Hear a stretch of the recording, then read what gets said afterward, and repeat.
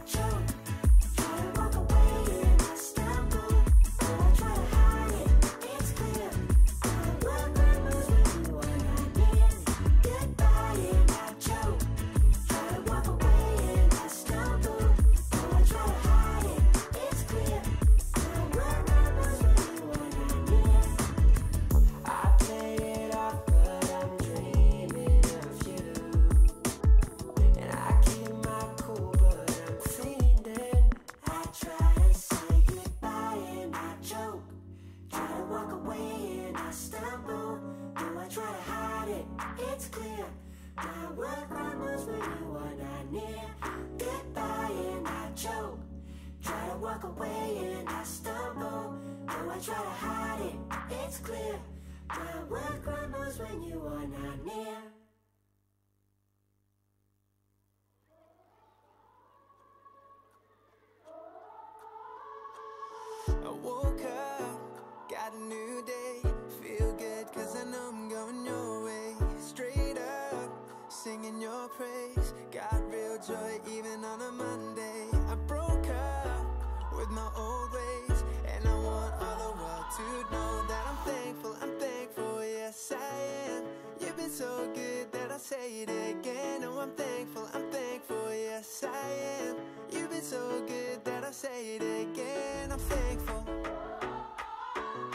something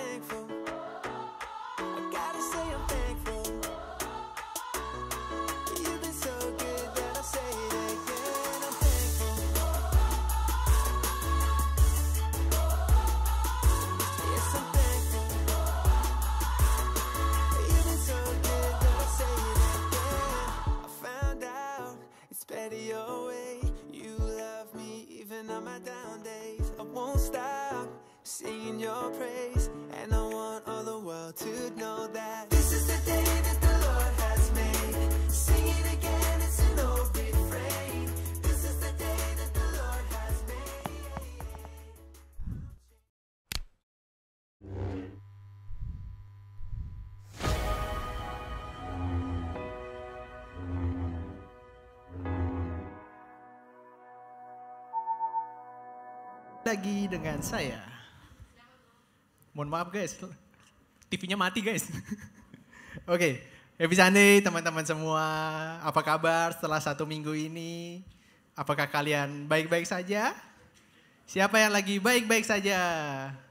Ternyata tidak ada, tidak ada yang baik-baik saja, nggak apa-apa. Ya namanya hidup, kadang ada baik, kadang enggak ya guys.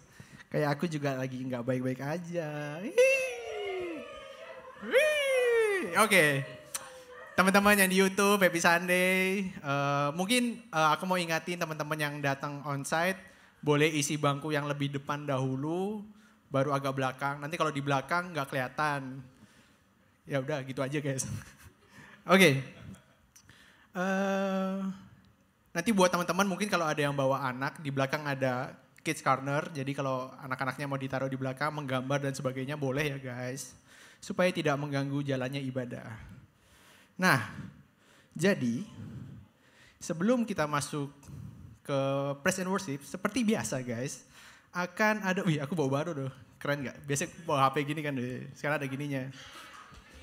Biar apa sih, gue, cerita ini buat apa sih? Oke, sebelumnya kita bercanda dulu. Aduh, bercanda gak ya? Duh, bercanda gak ya? Agak jokes, agak dark nih masalahnya. Eh, Happy, happy Sunday. Kedua hari lagi, happy Valentine. Uh, kalau orang yang sakit tapi happy, epilepsi. Aduh, maaf, maaf, maaf, bercanda, bercanda, bercanda. Karena eh, hati yang gembira adalah obat yang manjur. Jadi walaupun sakit harus happy. Oke, eh, sebelum kita mulai, kita mau dengerin testimoni dulu dari salah satu keluarga kita, teman kita yang ini datangnya jauh banget dari Manado. Kita datangkan ke Jakarta untuk kerja, bukan untuk testimoni, untuk kerja. Oke, kita sambut aja Kak Tabita. Kalian lihat gak sih kursinya baru? Wih, wih deh. Eh, jangan, ntar rusak. Baru beli. Halo Kak Bita. Halo Ino. Oke, teman-teman semua udah kenal belum sih sama Kak Bita? Kayaknya belum ya, karena tak kenal maka tak sayang. Kalau kata Tuhan lagi sayang-sayangnya mungkin harus dilepasin ya. Curhat. Oke, Kak Bita boleh perkenalan dulu mungkin. Kak Bita siapa, dari mana, statusnya apa, eh, ke sini naik apa, kalau naik Gojek ongkosnya berapa. Oh nggak usah, terlalu detail. Eh, Oke, shalom. Eh, peke- perkenalkan, nama aku Tabita Natalia Christina Kariso. Asik, Em, aku dari Manado, tapi sekarang udah stay sama kerja di Jakarta. Wih, yeay. Kerja apa kak, kalau boleh tahu kerja apa kak? Kerjain orang. Aduh, ini bercanda mulu. bercanda Ino. mulu nih lagi, aduh. Em, kerjanya sekarang di salah satu perusahaan otomotif sebagai sales. Kirain montir. Enggak guys, bukan montir guys. Ini mau ketawa, tahan-tahan Kak Bita. Enggak, Grogi ya? Sedikit. Oke, jokes dulu dong Kak Bita. Kasih Jokes dong, dulu, jokes dulu nih. kasih. Gue punya jokes buat lu. Oke, kasih. Sorry guys, ini ini talk show sebenarnya. Eh, restoran-restoran apa yang setiap hari ulang tahun? No? Waduh, restoran sederhana, bukan? Salah. Apa tuh? Pizza Hut. Wuh, Pizza Hut, hari ulang tahun, yeay. Wuh, Happy birthday to me. Jadi jadi Ino ulang tahun hari ini guys. Yeay, happy birthday Ino. Jadi gimana no perjalanan lu Udah sama kan jadi gua kak. Salah salah salah salah salah salah salah guys. Ah. Oke, kita serius nih kayak. Oke, oke, serius ya. serius, serius. Eh, Kak Bita, boleh dong ceritain sedikit karena hari ini kan kita temanya tentang this is love. Eh, boleh persepsinya dari Kak Bita apa itu this is love? Apa eh, menurut Kak Bita cinta itu apa? Em, kalau dari aku cinta itu pengorbanan. Pengorbanan. Iya. Ada lagi? Eh, jadi cinta itu pengorbanan, bukan cinta butuh pengorbanan. Karena kalau cinta butuh pengorbanan, berarti cinta dan pengorbanan adalah dua hal yang berbeda. Ya. Sementara cinta dan pengorbanan itu adalah hal yang sama. Jadi kalau kita mencintai, itu udah termasuk pasti kita berkorban. Yes. Karena cinta nggak cuman butuh dikorbankan tapi eh, bukan dikorbankan tapi kita butuh berkorban buat cinta itu sendiri. Nggak butuh no. Emang Oh, cinta butuh. itu udah Salah, berkorban. Saya salah, maaf. Gue baru jelasin no. Iya, maaf maaf. Agak miskom. Dimaafkan no. Ya. Oke, next. Apa lagi menurut Eh, Kak Bita? Apalagi ya? Cinta Cinta Cinta itu kerelaan hati. kerelaan hati. Ya, ikhlas. Ikhlas. Jadi apa yang kita beri jangan mengharap bukan jangan mengharapkan, nggak mengharapkan orang itu memberikan hal yang sama yang kita berikan. Gitu. Jadi itu kerelaan hati ikhlas. Jadi kayak cinta bukan take and give ya, Iya. tapi give, give, give, Yes. give thanks. Us, enggak enggak lanjut, next. Apa? Udah. Oh iya. Loh. Ada lagi no. oke. Eh, kalau dari aku cinta itu hal yang menyenangkan untuk kita terima, juga hal yang menyenangkan untuk kita berikan. Cinta itu menyenangkan dan menyenangkan untuk diterima dan menyenangkan untuk diberikan. Menyenangkan untuk diterima dan diberikan. Gimana Iya. tuh maksudnya Kak Bita? Boleh dong ceritain sedikit. Tapi gini no, tadi kan aku bilang hal yang menyenangkan untuk diterima dan diberikan. Tapi akhir-akhir ini aku lagi diajarkan Tuhan, em, ternyata cinta juga terkadang nggak menyenangkan untuk diterima, nggak mengenakan Wah. gitu. Terus eh, itu Kak Bita lagi diajarin ya tentang kalau cinta itu nggak selalu enak ternyata. Yes. Nah, boleh nggak diceritain sedikit aja case-nya seperti apa dan eh, gimana Kak Bita menemukan arti cinta itu sendiri? Eh, jadi aku cerita sedikit. Sekarang aku kan bekerja sebagai sales di salah satu perusahaan otomotif dan fun fact, aku nggak men- nggak menyukai pekerjaan ini dari awal. Aku nggak emang nggak menginginkan pekerjaan ini dari awal. Tetapi waktu aku ke sini ada beberapa tawaran pekerjaan dan aku selalu berusaha untuk belajar di setiap langkah kehidupan aku. Aku mau untuk melibatkan Tuhan, mau untuk eh, nggak mendahulukan Tuhan, tapi aku mau Tuhan yang menda- mendahului aku gitu. Jadi waktu itu aku doa, aku tanya Tuhan, ada beberapa pekerjaan nih, aku gimana menurut Tuhan gimana ya tempat eh, yang mau Tuhan tempatkan gitu.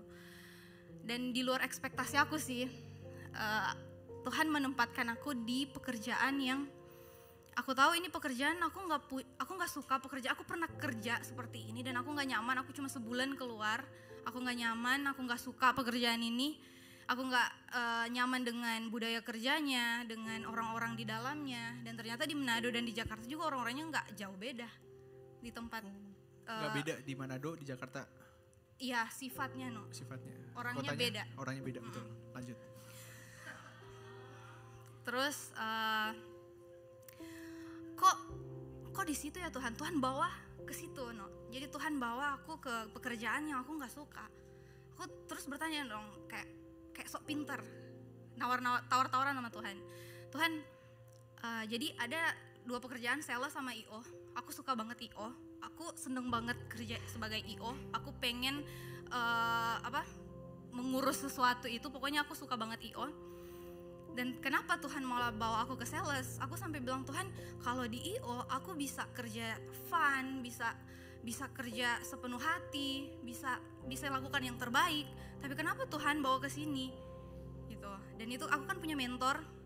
Aku diskusi sama mentor aku. Akhirnya mentor aku bilang "Eh, taat aja dulu ikutin kan kamu maunya kehendak Tuhan yang terjadi bukan bukan apa mau kamu tapi apa mau Tuhan jadi akhirnya aku memilih untuk oke Tuhan, aku memilih untuk taat.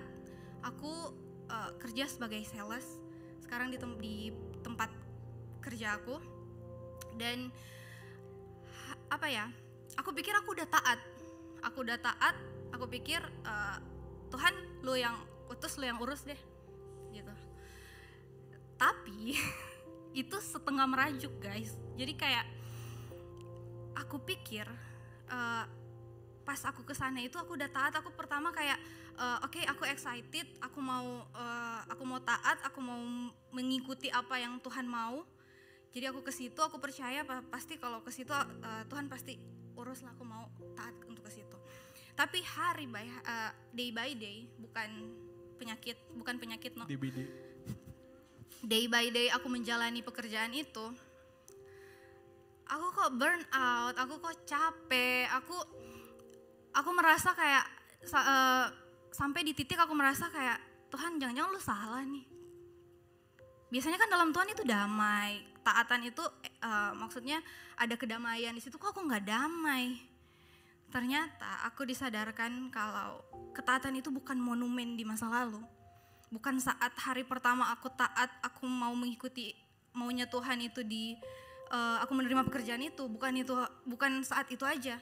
Tapi hari lepas hari gimana aku mengawali dan mengakhiri itu bersama Tuhan. Dan aku nggak menjalankan itu. Aku seminggu dua minggu kerja nangis. Telepon mentor aku telepon PIC aku aku bilang aku capek aku pengen berhenti aku nggak nyaman di sini. Kayaknya Tuhan udah salah deh. Kayak ternyata memang Tuhan gak salah aku yang salah aku meng- menganggap itu monumen di masa lalu tapi ternyata hari-hari itu memang harus diawali dan diakhiri bersama Tuhan Dan saat aku menyadari itu, dulunya yang awalnya aku setiap pulang kerja, ini baru pulang kerja jam 5 untuk mau kerja lagi besoknya itu udah capek, udah mikirin kayak capek banget nih, besok mau kerja lagi.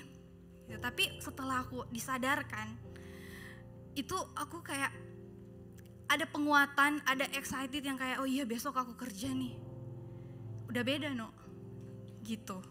Waktu Berarti kayak eh, waktu Kabita jalan dengan ketaatan yang sebentar-sebentar itu, Kabita nggak ngerasa nyamannya, tapi pada akhirnya waktu Kabita coba taat, Kabita coba jalanin tadi ya day by day, ternyata ketaatan tuh bukan tentang nyaman gak nyaman, tapi yang penting aman sama Tuhan ya. Iya, ketaatan kita itu eh, ketaatan terkadang eh, apa ya? Didikan Tuhan itu aku belajar didikan sih ini. Dan untuk menerima didikan Tuhan ya kita harus taat dulu. Dan ini hal yang gak mengenakan, hal yang gak buat aku nyaman. Ternyata ini adalah sebuah cinta Tuhan yang berupa didikan. Ini yang aku lagi rasakan. Yang aku bilang tadi hal yang menyenangkan, tapi ternyata nggak selamanya. eh, terkadang hal yang nggak menyenangkan itu bentuk cintanya Tuhan, yaitu didikan. Didikannya Tuhan ya. Iya, dan untuk menerima didikan Tuhan kita harus taat. Yes, jadi kalau mau terima cintanya Tuhan, ya terima didikannya Tuhan. Kalau Yes. mau terima didikannya Tuhan, ya lu mau nggak mau harus taat juga sama Tuhan. Lu mau jalan setiap hari sama Tuhan, dan pada endingnya bukan tentang nyaman gak nyaman, tapi hasilnya aman sama Tuhan. Yes. Wah, gokil Kak Davita. Boleh dong tepuk tangan buat Davita. Nah, Kak Vita, boleh dong encourage teman-teman yang hadir di sini atau yang di YouTube. Punya ayat yang di Lukas 6 ayat 46 sampai 49 itu berbicara tentang ketaatan dan poinnya di situ itu saat kita taat kita akan kuat. Yang tentang eh, apa? Kita mendirikan rumah di atas batu saat air bah datang dan eh, melanda rumah itu, tapi rumah itu tetap kuat. Dan di situ yang aku belajar saat kita taat kita akan kuat no karena eh, saat kita taat kita berjalan dalam rencananya Tuhan dan Tuhan itu Tuhan yang besar Tuhan yang udah nyiptain dunia ini ya kita akan aman kita akan kuat bersama-sama dengan dia no asal jalan jalan bareng dia ya Yes. mengawali dan mengakhiri bareng-bareng sama dia sama Tuhan. Mm-mm. Ada lagi? Eh, yang aku mau bilang juga kita ha- selain kita taat kita juga harus mencintai ketaatan kita mencintai apa yang kita butuhkan yaitu didikannya Tuhan cintanya Tuhan kita harus belajar untuk mencintai itu juga Gokil. Oke, thank you banyak Kak Vita. Tepuk tangan teman-teman buat Kak Vita sekali lagi. masih ada sih no tapi udah Masih ada ya? Enggak, enggak, ya udah waktu kita habis Kak Vita. Maaf banget. Maaf banget.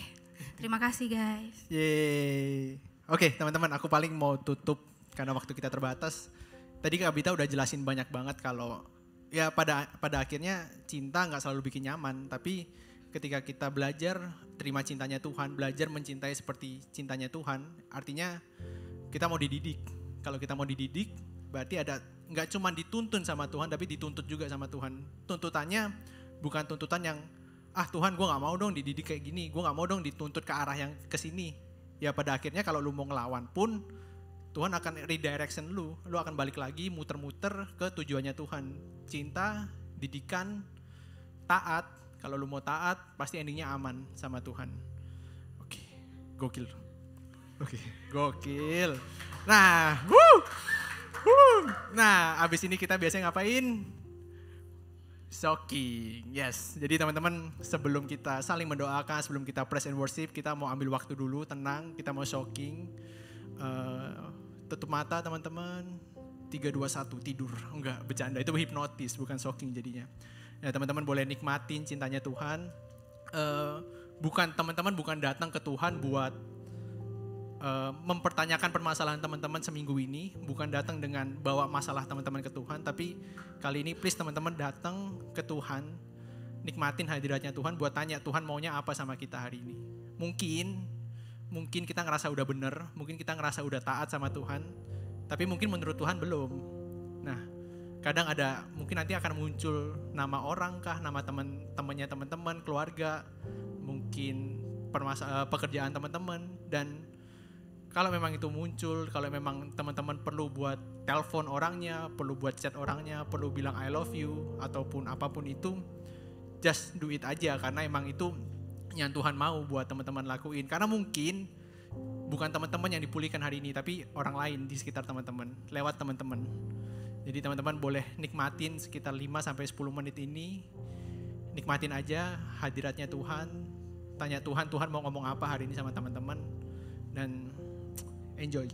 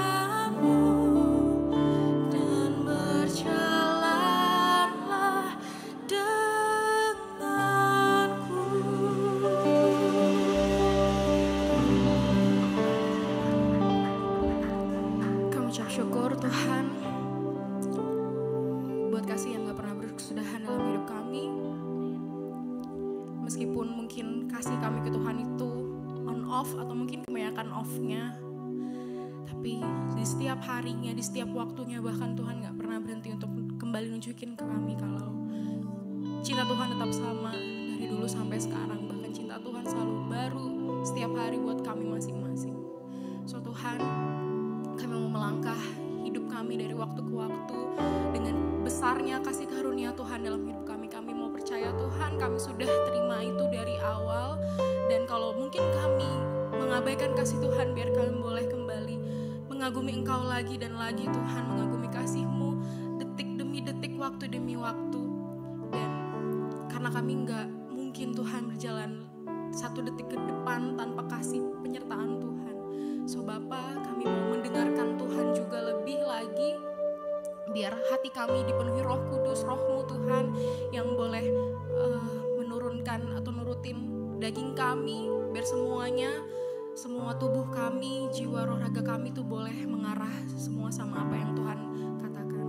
So ini kami Bapa menyerahkan seluruh kehidupan kami, kelemahan kami bahkan mungkin titik yang kami tidak mengerti. Semuanya hanya dalam tangan pengasihanmu Allah yang baik, Allah yang penuh kasih Yesus Kristus. Amin. Please welcome Pastor Andy.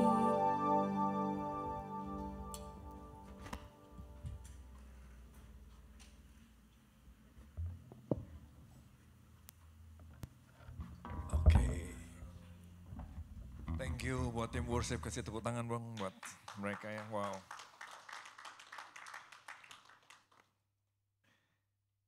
Ah, Saya sih seneng banget. Saya harap saudara juga menikmati banget ya. Saya tadi sempat lihat dari belakang, rasanya kalau saya nggak salah melihat kalian juga menikmati. Mudah-mudahan bukan cuma sekedar nyanyinya atau suasananya, tapi kita mengalami Tuhannya. Oke? Oke, eh, kali ini saya mau ajak kita belajar tentang this is love. Inilah cinta itu. Kenapa sih kita perlu mengenal kasih Tuhan? Kayak tadi kita menyembah, kita menikmati, tapi sebetulnya gini. Ada banyak orang menikmati penyembahan, mereka tenggelam dalam musiknya. Mereka tenggelam dalam suasananya. Tapi saya mau ajak supaya kita nggak cuma sekedar sampai di musik, nggak cuma sekedar sampai di perasaan. Yuk kita belajar mengenal kasih Tuhan. Kenapa kita perlu belajar mengenal kasih Tuhan? Karena itulah satu-satunya modal saudara dan saya. Tanpa kasih Tuhan kita nggak bisa yang lain, nggak bisa apa-apa. Saudara boleh ganteng, saudara boleh cantik, tapi hidup saudara kan belum tentu baik. Karena ternyata ganteng dan cantik nggak menjamin hidup lebih baik. Saudara boleh punya, punya banyak uang, saudara boleh punya banyak prestasi, tapi juga belum tentu hidupmu lebih baik. Saudara boleh punya reputasi kayak apa pun, bahkan saudara boleh terlibat pelayanan seperti apa pun, juga nggak menjamin saudara berjalan dengan baik. Mungkin orang bisa lihat baik dari luar, tapi dalamnya kita tahu, belum tentu sebaik itu. Tanpa kasih Tuhan kita semua binasa. Tanpa kasih Tuhan. Tanpa kasih Tuhan tidak ada yang bisa disembuhkan dari luka kehidupan. Saudara hidup ini makin lama hidup makin banyak luka. Amin. Jangan saudara pikir gini, waduh saya pengen umur panjang. Kalau saudara mau umur panjang, saudara mesti siap dengan luka yang tambah panjang. Saya lihat opa oma yang sudah semakin senior, semakin sepuh, tersinggungnya sama cucunya nanti. Cucunya nggak punya waktu lah, ya kan? Cucunya inilah, ini tersinggung nanti merasa merasa nggak di nggak di nggak diharapkan lagi dan semuanya. Jadi tanpa kasih Tuhan, hidup ini akan berakhir dengan penuh kepahitan. Saudara dan saya perlu kasih Tuhan supaya kita bisa disembuhkan dari semua luka dalam hidup ini. Kita perlu kasih Tuhan supaya kita bisa mam- dimampukan untuk berubah. Gak ada orang yang bisa berubah dalam hidup ini sebetulnya kalau menurut saya. Orang cenderung ya seperti itu sudah. Tapi kasih Tuhan yang akan terus memotivasi saudara memampukan kita untuk berubah. Karena itu saya mau ajak kita baca satu firman ini yang mungkin saudara sudah hafal. Tapi saya mau ajak sekali lagi baca dengan hati, dengan perasaan. Coba kita lihat sama-sama. Karena begitu besar kasih Allah kan dunia ini. Sehingga dia mengaruniakan anaknya yang tunggal. Supaya setiap orang yang percaya padanya tidak binasa melainkan beroleh hidup yang kekal. Boleh baca sama-sama? Dua, tiga. Sehingga ia telah mengaruniakan supaya setiap orang yang percaya padanya tidak binasa, melainkan beroleh hidup yang kekal. Dalam hidup ini menurut saudara siapa orang paling baik di dunia? Siapa orang paling baik kalau diukur gini, paling banyak memberi. Ternyata kalau menurut data namanya Bill Gates. Menurut data dia lewat yayasannya sudah memberi 500 triliun rupiah. Kalau saya googling saya sampai bolak-balik ngitung saya salah nggak nanti saya salah ngomong begitu ya. Benar 500 triliun dan itu uang semua saudara. Dia kasih. Tapi tetap dia memberi segitu banyak tetap itu bukan semua yang dia punya. Dan bahkan dunia tidak semua menganggap dia orang baik. Sebagian menganggap dia orang jahat. Berapa banyak or, uang yang sudah pernah beri sama orang di pinggir jalan? Yang membuat dia sampai setengah menyembah saudara. Sampai matanya berkaca-kaca dan bilang terima kasih ya bang, terima kasih. Berapa banyak yang sudah beri? 50 ribu? 100 ribu? Saya jamin sudah beri orang di jalan 100 ribu itu cukup membuat heboh sepanjang jalan itu. Kalau dia ada di jalan Sudirman, sepanjang jalan Sudirman dia heboh. Tapi toh tetap kita tahu kita nggak memberi semua yang kita punya. Karena itu kasih Tuhan sama sekali nggak bisa dibandingkan sama kasih manusia. Tuhan kalau mengasihi saudara dan saya, dia memberikan dirinya sendiri. Dia memberikan semua yang dia punya dan tanpa syarat. Karena itulah nggak heran makanya dari sepanjang sejarah Alkitab sampai hari ini, tiap kali orang bertemu dengan kasih Tuhan, hidupnya pasti berubah. Amin. Hidupnya pasti berubah. Di Bandung ada seorang pembunuh yang kebetulan dia membunuh teman saya. Ya, uh, kalau sudah cari nama yang dibunuhnya Husen di Hegar mana, sudah akan cari. Nah, pembunuhnya ditangkap di penjara, bertobat di penjara dan pertobatan dia membawa pertobatan orang-orang lain lagi yang sekarang melayani di gereja juga yang buat saya kok bisa mereka berubah? Karena mereka mengalami kasih Tuhan di dalam penjara itu. Nah kenapa kenyataannya kita sering meragukan kasih Tuhan? Kita boleh menyembah sampai menikmati kayak apa, tapi kenapa kenyataannya sehari-hari kita masih suka meragukan kasih Tuhan? Kita meragukan kasih Tuhan karena kita suka bandingin kasih Tuhan sama kasih kita. Nah kasih kita itu bersyarat. Kasih Tuhan tidak bersyarat.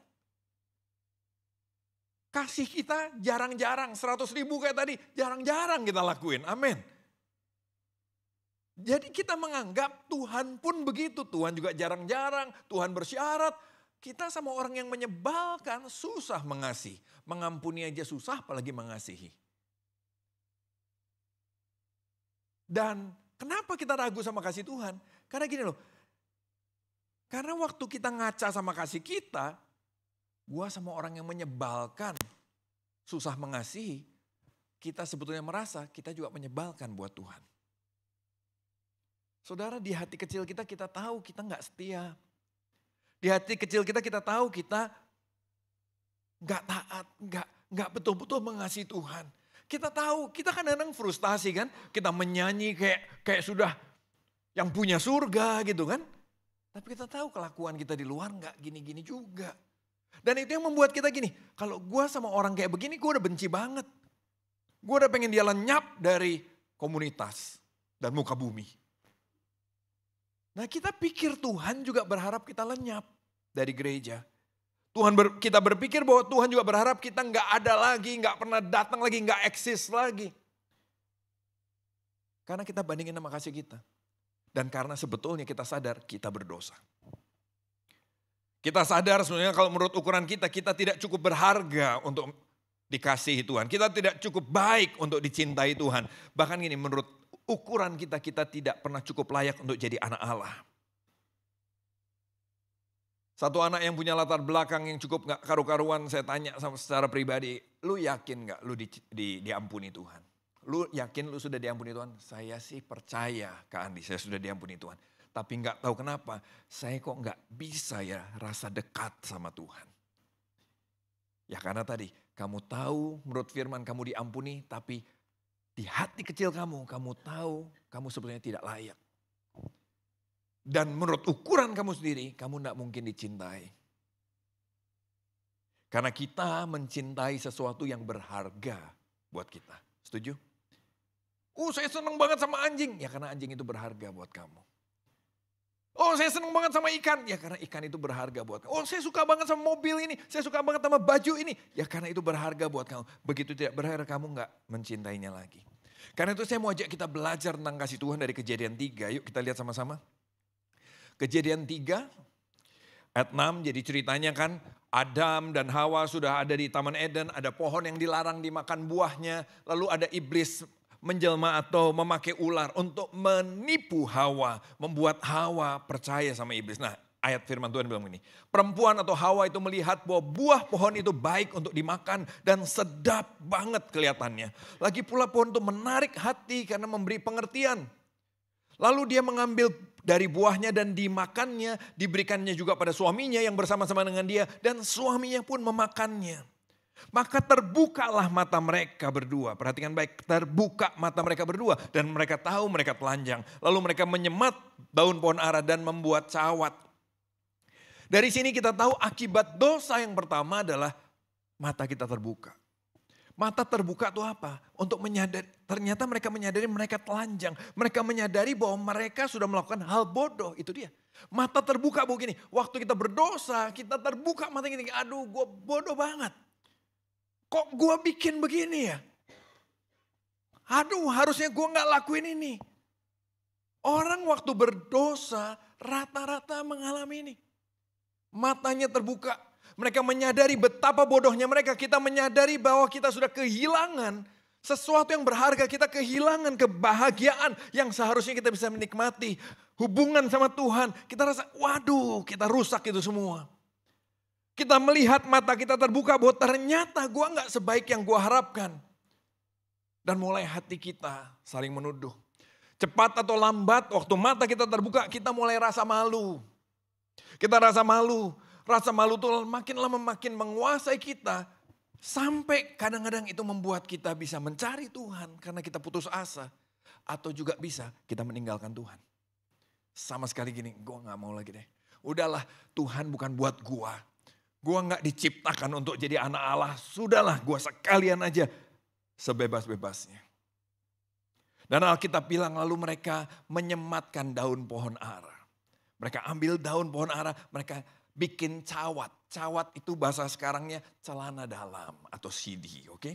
Mereka bikin celana dalam, kayak Tarsan punya celana begitu saudara, dari pohon ara. Mungkin ada yang pernah bilang gini, pernah nanya gini, kenapa Adam berdosa kita semua ikut dihukum? Ada bukan Adam berdosa kita semua ikut di, bukan sekedar begitu, tapi begini loh. Adam itu menggambarkan kita. Gak usah ada Adam pun kita kalau ada di sini, kita berdosa juga. Jangan salahin Adam, karena kita pun cenderung berdosa juga.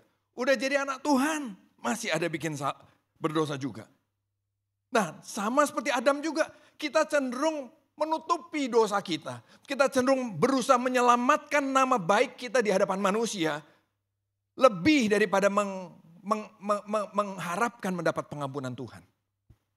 Setuju? Waktu berdosa, begitu berdosa kita pikir gimana orang lain gak tahu. Jangan orang lain tahu. Kita pakai cawat. Kita menutup daripada kita mencari pengampunan Tuhan, kita lebih mencari menjaga bagaimana cara menjaga nama baik kita di hadapan manusia. Kita menutupinya dengan cara apa? Kegiatan rohani mungkin. Supaya kelihatan, wah berbuat baik mungkin. Untuk menutupi rasa bersalah. Atau kita berusaha sukses di bidang kita. Supaya kita bisa merasa ini, toh Tuhan masih berkati saya kok buktinya. Coba toleh kiri kanan bilang ini, jangan pakai cawat.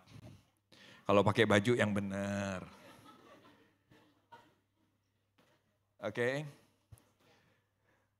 Ayat berikutnya bilang begini. Ketika mereka mendengar bunyi langkah Tuhan Allah yang berjalan-jalan di taman itu pada hari sejuk. Bersembunyilah manusia dan istrinya terhadap Tuhan. Ayat berikutnya, slide berikutnya. Di antara pohon-pohonan dalam taman. Tapi Tuhan Allah memanggil manusia itu dan berfirman, Adam di mana kamu? Ngumpet kan. Terus Adam jawab, eh ketika aku mendengar engkau ada dalam taman ini aku jadi takut karena aku telanjang sebab itu aku sembunyi. Perhatikan akibat dosa. Waktu dosa justru ditutupi, bukannya bertobat, bukannya mencari pengampunan Tuhan tapi ditutupi, maka akibat selanjutnya dari dosa adalah apa? Takut. Takut pada siapa? Takut pada hadirat Tuhan. Akibatnya mereka bersembunyi, akibat takut bersembunyi dari Tuhan. Doa sebelum tadinya menyenangkan buat kita.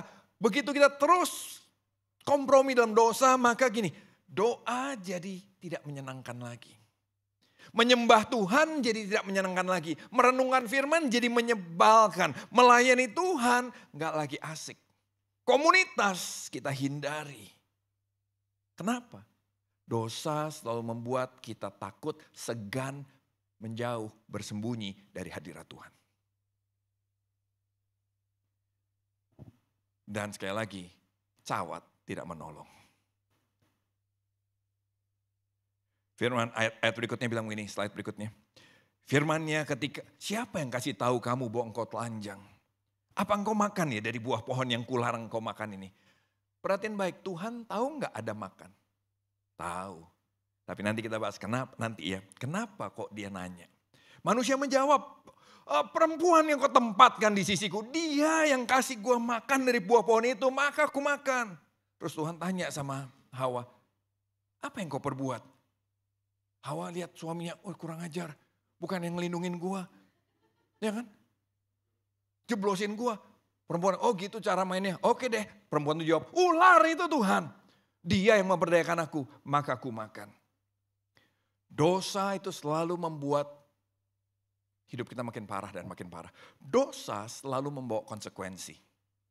Kita lagi belajar tentang kasih Tuhan, tapi saya mau beritahu, dosa tetap punya konsekuensi walaupun di dalam kasih Tuhan. Oke? Konsekuensinya apa? Yang pertama kebohongan. Kebohongan apa sih? Ular itu kasih tahu gini, kalau lu makan, lu akan seperti Allah.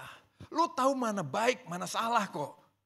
Pengeta, buah pohon pengetahuan baik dan jahat kan. Lu tahu, jadi lu nggak perlu tanya Tuhan lagi. Lu nggak perlu bergantung Tuhan lagi. Karena lu sudah tahu sendiri mana baik, mana salah. Mana baik, mana jahat. Dan itu bohong kan.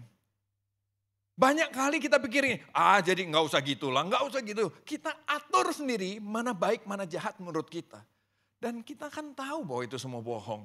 Kita nggak tahu kok mana baik, mana jahat. Apa yang menurut kita itu belum tentu benar. Selain kebohongan, kebodohan. Kebodohan apa? Ya kayak Adam dan Hawa tadi. Saya 30 tahun melayani Tuhan, 30 tahun saya lihat dari apa yang saya pelajari dalam melayani banyak orang. Saya mempelajari gini loh, ternyata masalah orang itu jalan keluarnya sering kali simple. Masalahnya ruwet, kuncinya mah. Makanya kunci itu kan selalu kecil, saudara. Setuju nggak? Pintunya besar, kuncinya kecil. Nggak pernah kan kunci lebih besar dari pintu.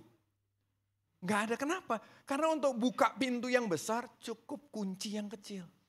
Masalah orang boleh besar, sebetulnya jalan keluarnya simple. Tapi kenapa kita nggak bisa beresin masalah kita? Karena dosa membuat kita bodoh.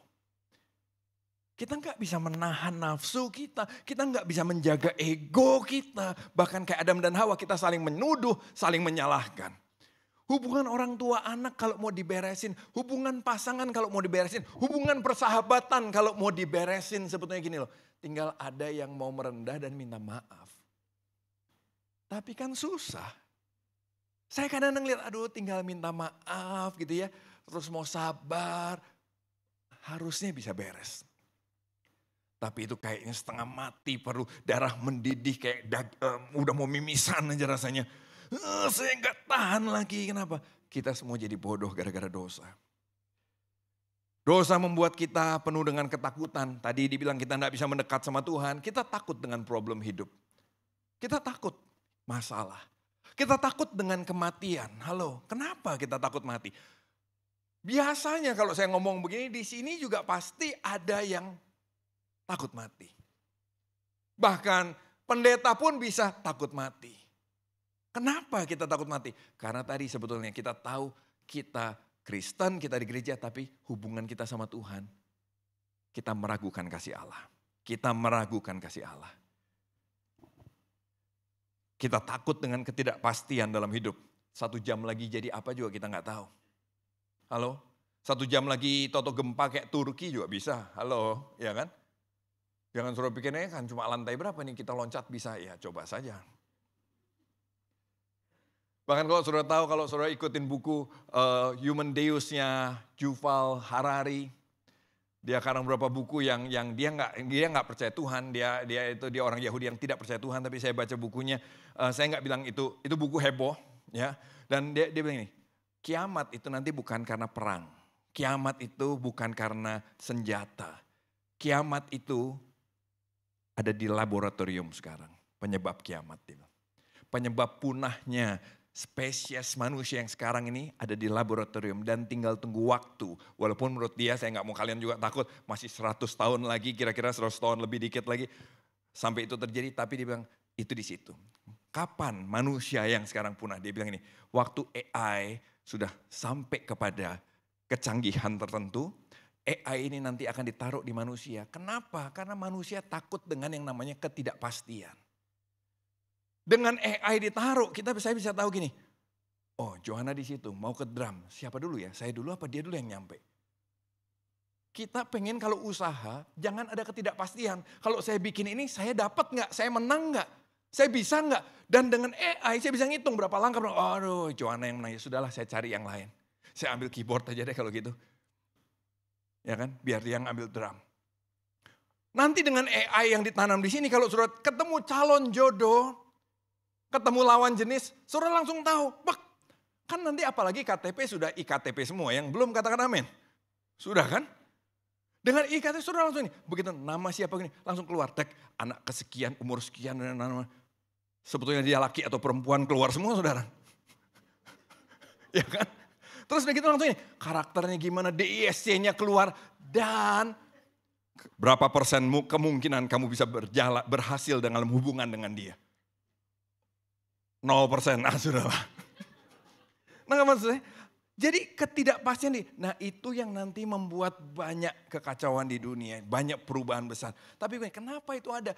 Karena kita takut. Nah kenapa dunia takut? Karena mereka tidak punya Tuhan. Nah harusnya saudara dan saya nggak perlu takut. Tapi sering kali kita meragukan kasih Tuhan. Dosa selalu bawa akibat kejadian 3 ayat 16 bilang ini ayat berikutnya. Firmannya pada perempuan itu, susah payahmu waktu mengandung akan kubuat sangat banyak. Dengan kesakitan engkau akan melahirkan anakmu. Namun engkau akan berahi pada suamimu dan dia akan berkuasa atasmu. Lalu firmannya pada manusia itu, karena engkau mendengar perkataan istrimu dan memakan dari buah pohon yang telah kuperintahkan kepadamu. Jangan makan daripadanya. Maka terkutuklah tanah karena engkau. Dengan bersusah payah engkau akan mencari rezekimu dari tanah seumur hidupmu. Ayat berikutnya, slide berikutnya. Semak duri dan rumput duri yang akan dihasilkan ya bagimu tumbuh-tumbuhan di padang akan menjadi makananmu. Dengan berpeluh engkau akan mencari makananmu sampai engkau kembali lagi menjadi tanah. Karena dari situlah engkau diambil sebab engkau debu dan engkau akan kembali menjadi debu. Dari ayat-ayat ini mungkin orang bilang ini, tuh kan Tuhan jahat. Tuhan memang gak mengasihi kita. Kalau Tuhan mengasihi kenapa dia marah? Gini loh saudara saya mau beritahu. Contoh, Jakarta lagi hujan terus kan? Saya bilang sama saudara, saudara abis ini jangan keluar Hujan gede, nanti lu basah kuyup. Udah di sini aja yuk kita menyembah Tuhan, kita sharing-sharing firman. Allah malas gua kalau panjangan kayak begitu. Keluarlah kayak kita. Basah kuyup lah karena hujan. Terus oh Kak Andi jahat. Loh kan gua udah bilang. Jangan keluar. Lu yang keluar terus basah kuyup terus kok gua yang jahat. Sama, kan Tuhan udah bilang di luar aku tidak ada kehidupan. Di luar aku nggak ada berkat yang sejati. Di luar aku yang ada kebinasaan. Dan waktu orang memilih, ah gue mau keluar. Terus binasa, terus mereka bilang, Tuhan jahat. Bukan Tuhan jahat, kan Tuhan sudah bilang bahwa kehidupan hanya ada di dalam Tuhan. Begitu Adam dan Hawa memilih untuk menjauh dari Tuhan, terpisah dari Tuhan, Tuhan bilang, ya beginilah yang akan terjadi. Dengan berpeluh engkau akan mencari makananmu dengan begini-begini. Semua itu kan Tuhan sudah bilang dari awal bahwa di luar Tuhan tidak ada kehidupan. Tapi sering kali kita terus salah menangkap Tuhan sampai seni yang menggambarkan Adam dan Hawa seperti ini. Coba kita lihat gambar-gambarnya. Nah yang sebelah sini coba suruh lihat, saya minggir dulu biar suruh kelihatan ya. Yang sini, malaikat bawa pedang bersinar kayak Star Wars Mungkin ide Star Wars dari sini. Dan dia kejar Adam dan Hawa. Saudara ini nggak ada ayatnya. Oke, malaikat memang pedang bawa pedang bersinar, tapi bukan ngejar Adam dan Hawa, tapi jagain pohon. Benar, ya kan? Tapi enggak, bukan mau pukul Adam dan Hawa, terus Adam dan Hawa ketakutan mau dipukul malaikat, enggak ada ceritanya. Yang di tengah, Tuhan marah kurang ajar lu ya. Kacau lu ya, Wah, rasain lu, enggak ada ceritanya.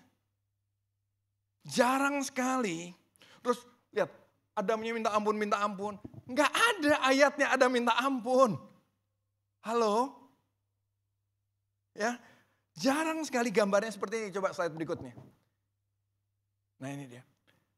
Gambar yang menggambarkan Tuhan bukan benci sama manusia waktu manusia berdosa, tapi Tuhan sedih. Tuhan sedih waktu kita memilih jatuh dalam dosa dan atau hidup dalam dosa, Tuhan sedih. Karena Tuhan tahu akibatnya, tapi Tuhan sedih. Tapi Tuhan tidak pernah membenci. Kalau kita baca lagi kitab kejadian tadi, maka saudara harusnya kita dapat begini. Yang ada adalah gini, Tuhan sabar nanya Hawa, Adam, Adam di mana kamu? Adam ngumpet di balik pohon kan. Tuhan pun, Adam di mana? Adam diam diam Hawa, diam diam Hawa.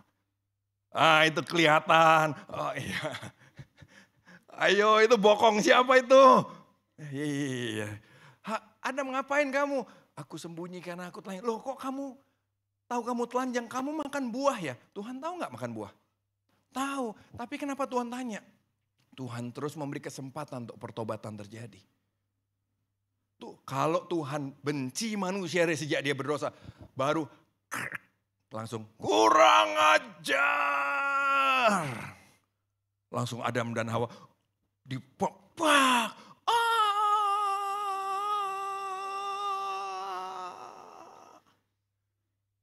Tapi kan nggak pernah terjadi begitu saudara. Yang terjadi waktu Tuhan biarin, Tuhan sedih. Waduh kamu memilih begitu ya. Eh Tuhan nggak tahu ya. Dihabisan apa? Habis. Udah habis Tuhan datang ngumpet. Tuhan Adam di mana lihat. Tuhan hadir sebagai pribadi yang sangat sabar. Bahkan kalau sudah baca, Adam dan Hawa bikin apa? Cawat, betul? Baca baik-baik, Tuhan bikinin apa? Bikinin baju.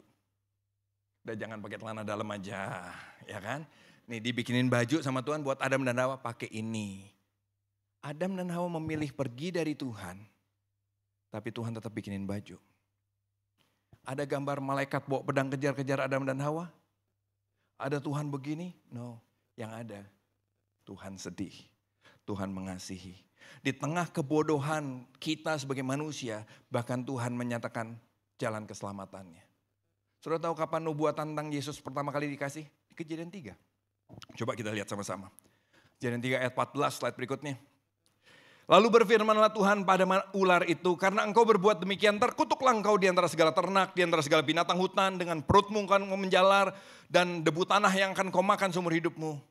Lihat ini, aku akan mengadakan permusuhan antara engkau dan perempuan ini, antara keturunanmu, ini menggambarkan iblis, dengan keturunannya. Nah kata keturunan ini bukan bicara keturunan-keturunan, tapi mengacu pada satu pribadi yaitu Yesus. Satu keturunan nanti akan membereskan ini semua. Yaitu Kristus Yesus. Dia akan meremukkan kepala ular. Dia akan menghancurkan kepala ular. Dan engkau ular akan meremukkan tumitnya. Bicara keturunan itu Yesus akan menyerahkan dirinya di atas kayu salib. Dari sejak kejadian tiga, Adam gak ada bertobat-bertobat. Tuhan sudah memberi jalan keselamatan. Roma 5 ayat 8 menegaskan begini. Akan tetapi Allah menunjukkan kasihnya pada kita. Oleh karena Kristus telah mati untuk kita ketika kita masih berdosa. Amin. Adam masih berdosa, Hawa masih berdosa. Tuhan dari sejak kejadian sudah menunjukkan kasihnya. Bahwa Kristus, aku akan menebus dosa ini.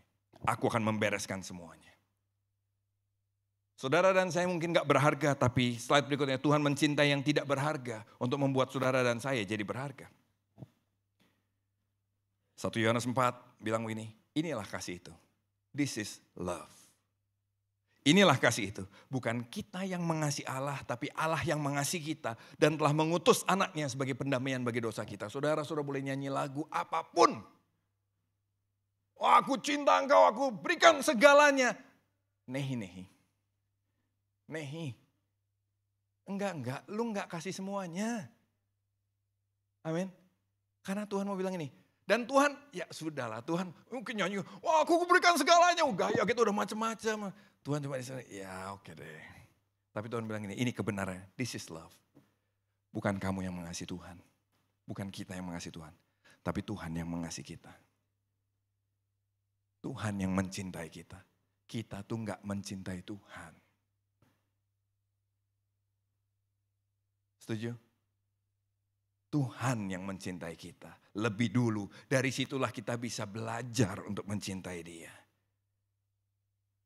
Saya harap dari sini mata saudara dan saya terbuka melihat kasih Tuhan. Karena inilah modalmu, inilah yang membuat engkau sadar. Engkau bisa mendekat sama Tuhan. Engkau sadar begini, oh saya bisa berubah. Oh kita bisa diterima Tuhan. Bukan karena saya hebat. Bukan karena apa yang saya buat. Tapi gini, karena apa yang Tuhan buat.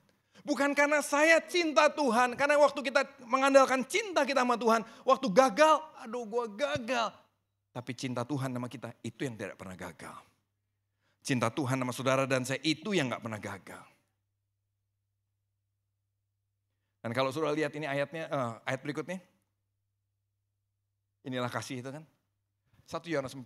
Tadi karena begitu besar kasih Allah kan dunia ini, ayatnya di mana? Ingat gak? Yohanes 3. Eh Yohanesnya sama, siapa sih Yohanes? Oh Yohanes kan murid Yesus.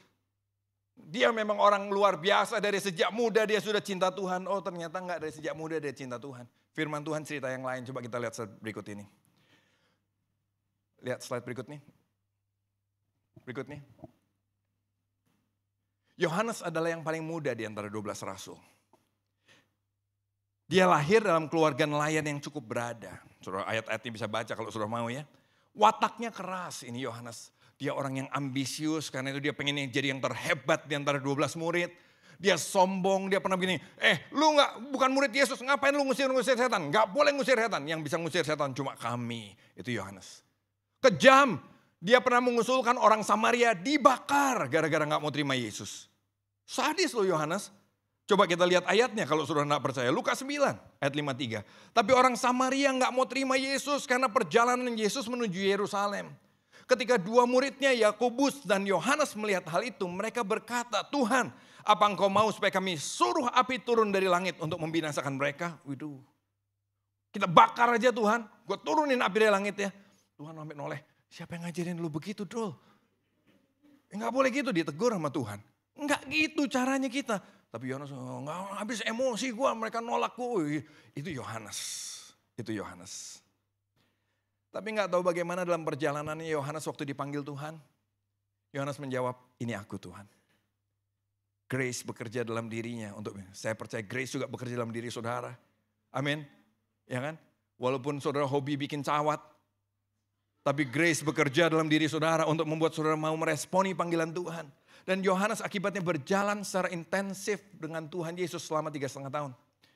Dia banyak dekat dengan Tuhan, dia banyak mendengar Tuhan, dia banyak memperhatikan Tuhan, dia banyak menerima kasih Tuhan. Sehingga akhirnya hatinya berubah mengalami kasih Tuhan, mengenal kasih Tuhan, itu pasti merubah orang yang menerima kasih itu. Kasih Tuhan mengubah Yohanes. Yohanes menyadari bahwa dia orang berdosa. Tapi di saat yang sama Yohanes juga tahu dia diampuni, dia dicintai. Bahkan dia tahu gini, oh saya bukan cuma jemaat, saya muridnya Yesus. Karena itu lima kali dalam kitab Yohanes dia tulis begini, coba kita lihat. Slide berikutnya. Oh, bukan. Masa loncat ke situ sih? Ada yang lima kali tuh? Lima ayat? Bukan, sebelumnya, sebelumnya. Ah, kepotong ya? Gak ada, aduh maafkan saya ya sudah. Uh, lima kali dalam kitab Yohanes dia tulis begini. Dia murid yang dikasih Tuhan, murid yang dikasih Tuhan, murid yang dikasih Tuhan.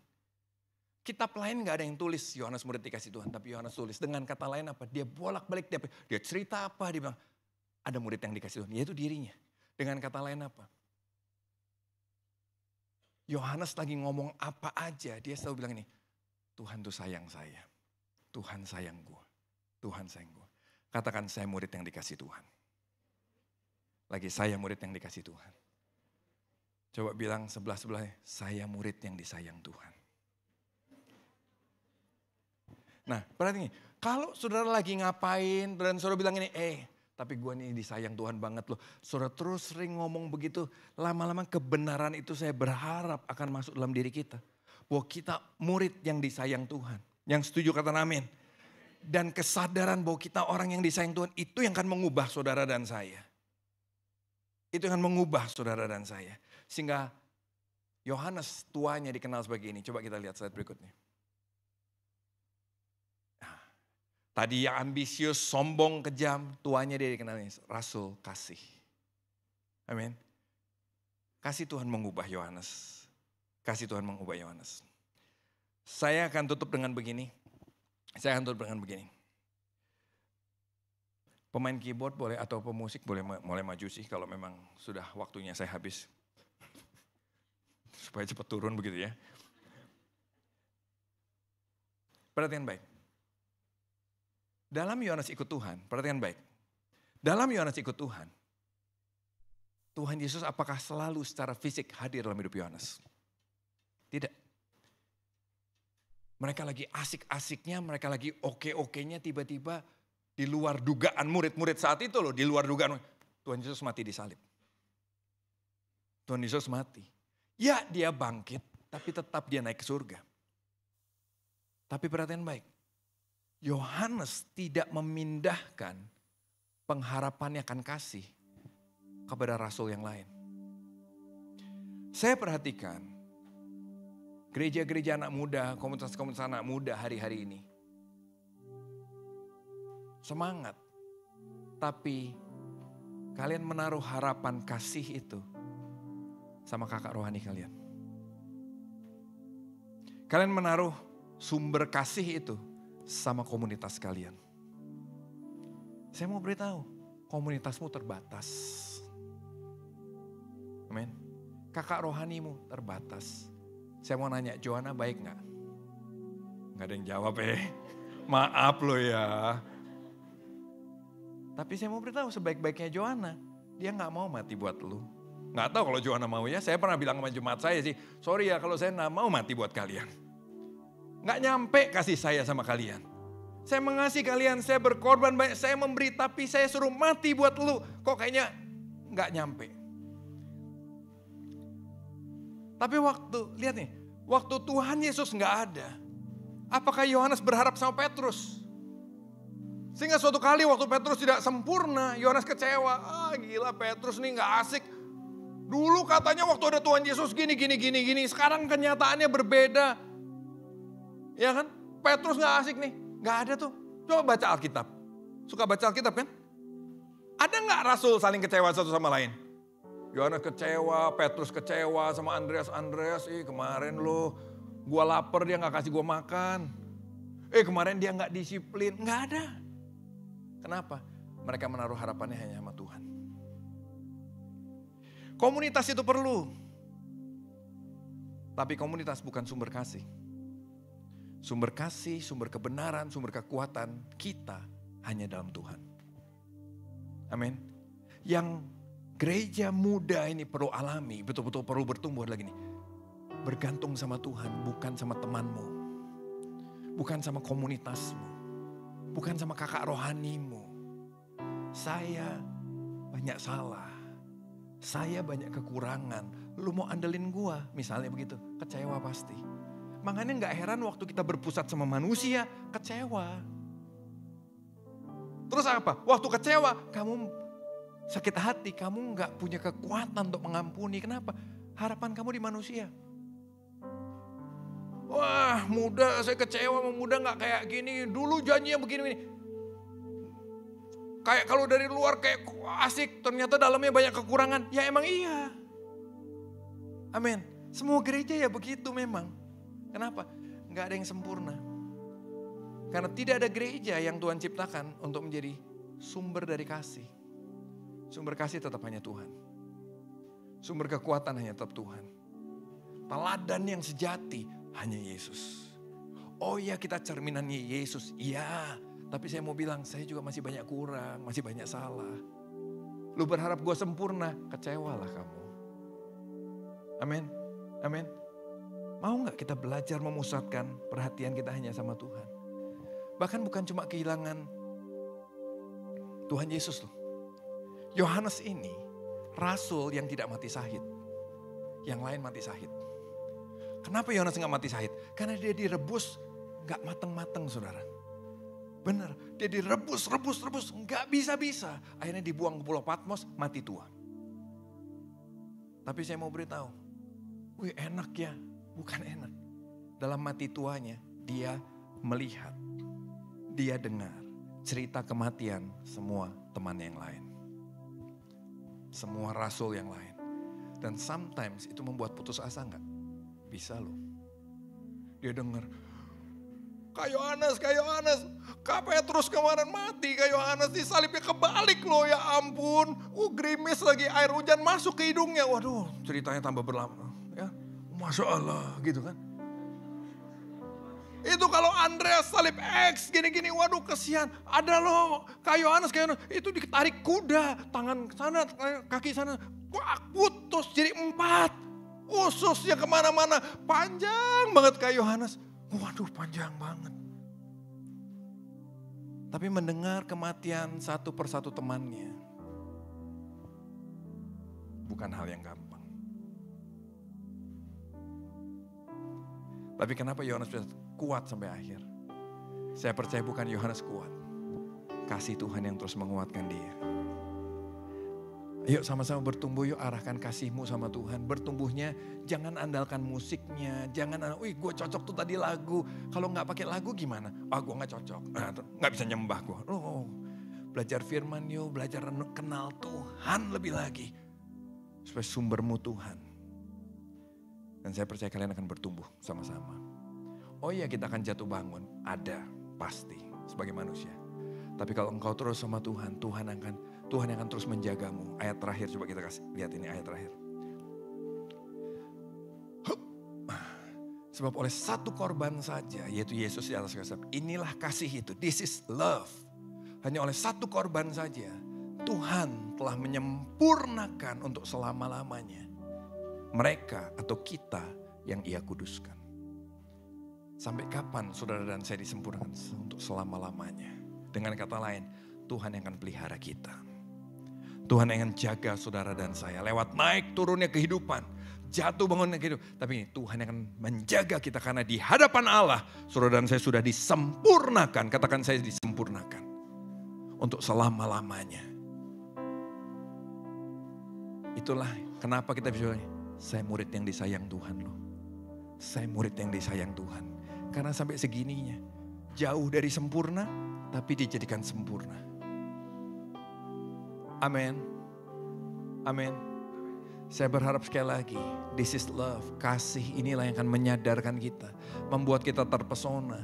Dan kasih ini akan jadi kekuatan saudara dan saya dalam menjalani hidup. Apakah kebaikan Tuhan bisa membuat kita, oh nggak apa-apa dong kalau gitu kita kompromi jatuh dalam dosa. Jangan, dosa selalu membawa akibat dalam hidup kita. Selalu. Jangan izinkan iblis merusak itu. Tapi terus belajar hidup dalam kasih Allah. Amin. God bless you. Oh nggak mau nyanyi lagi, kalau gitu kenapa maju? Salah saya yang manggil ya. Saya kira mau nyanyi lagi. Mau nyanyi apa? Enggak, lah kenapa maju?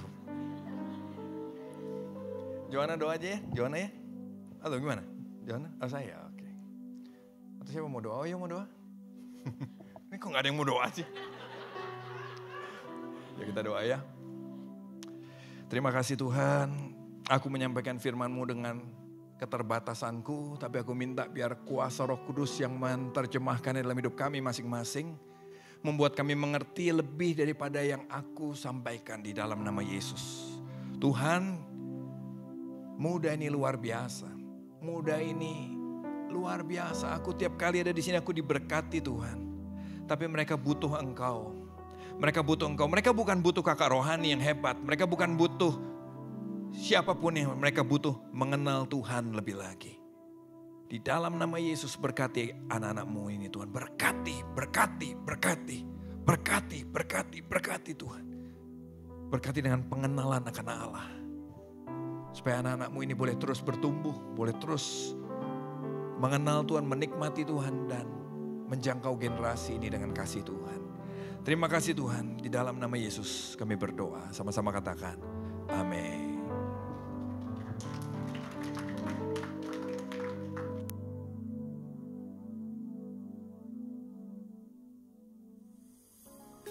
Welcome to Muda Welcome Update. to Muda Update. Bagi sahabat muda yang ingin menabur, dapat mengirimkan melalui rekening Bank Mandiri atas nama Gereja JKI Muda. Atau sahabat muda bisa memberikan persembahan dengan cara scan QRIS yang terletak di pintu keluar setelah ibadah. Persembahan dapat diberikan melalui aplikasi seperti GoPay, OVO, ShopeePay, ataupun transfer mobile banking. Bagi sahabat muda yang rindu untuk didoakan, dapat mengisi formulir dengan cara scan QR code yang ada di layar atau klik link bit.ly slash muda prayer request. Yuk join komunitas di muda. Berikut adalah komunitas yang berada di bawah naungan muda. Pilih komunitas yang sesuai dengan usia dan kebutuhan sahabat muda untuk menjadi tempat dan rumah bagi sahabat muda untuk bertumbuh. Informasi lebih lanjut bisa menghubungi community team setelah ibadah selesai. Muda kini hadir untuk Indonesia Timur. Untuk informasi lebih lanjut bisa cek di Instagram di @muda untuk Ambon, @muda untuk Manado, @muda untuk Bali, @muda untuk Kupang, dan @muda untuk Papua.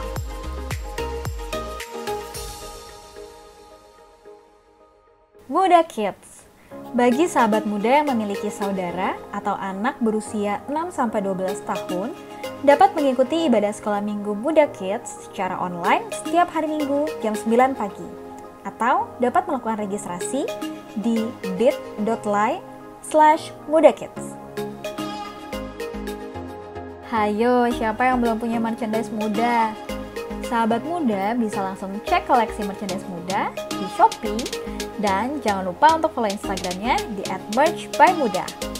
Sermon hari ini dapat didengarkan kembali dalam bentuk podcast pesan muda di Spotify. Untuk informasi lebih lanjut, jangan lupa kunjungi website Muda di www.menjadiutuhdanasli.com. Dan jangan lupa untuk follow Instagram Muda di @muda untuk Indonesia.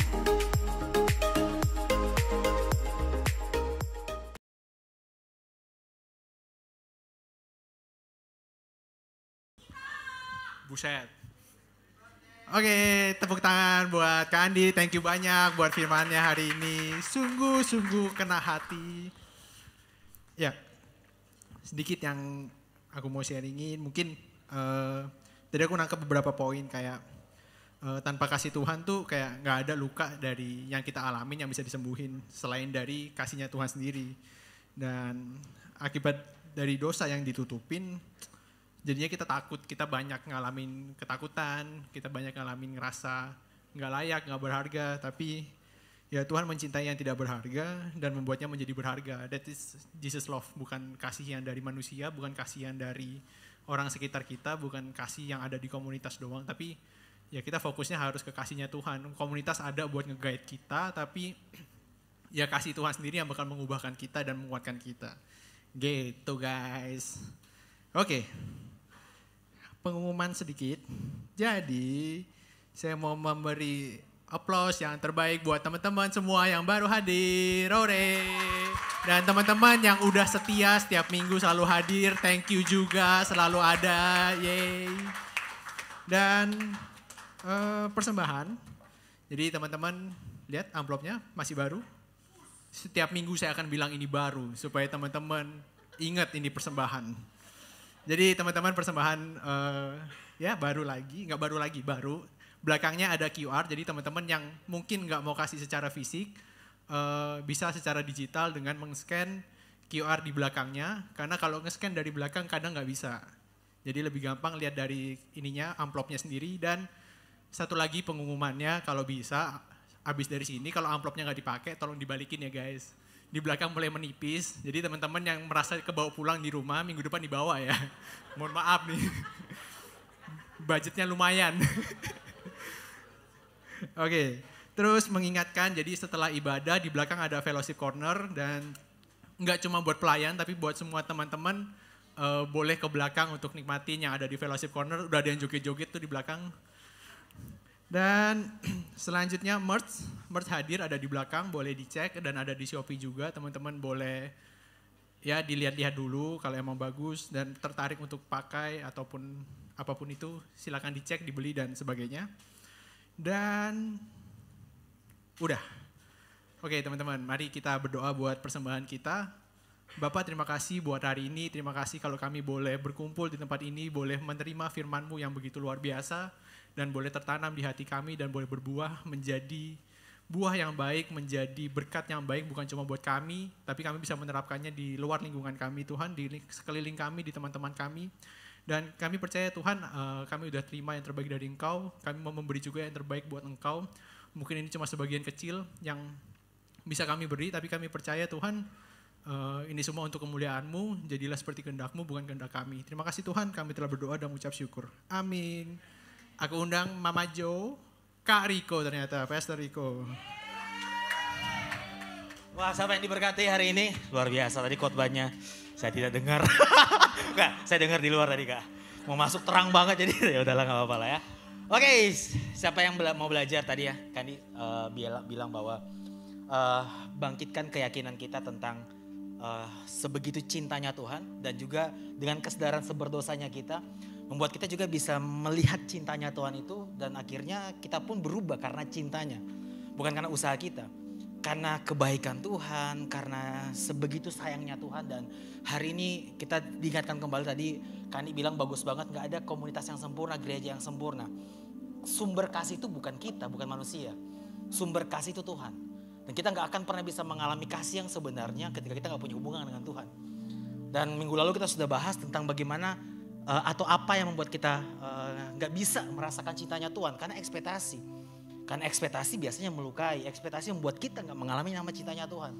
Ya jadi ini kayak satu rangkaian khotbah yang bagus banget dan aku juga mau ngajak teman-teman minggu depan dan seterusnya dan seterusnya untuk kita sama-sama diberkati melalui kebenaran firman Tuhan di tempat ini.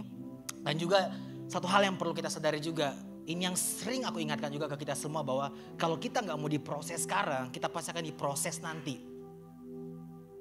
Ya makanya bicara tentang kasih itu bicara kedewasaan hati.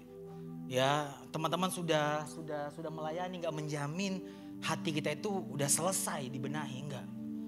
Ayo sama-sama kita yang lagi berobat jalan ini mengalami kasihnya Tuhan sama-sama ya. Oke saudara semua bangkit berdiri. Kita mau deklarasi iman.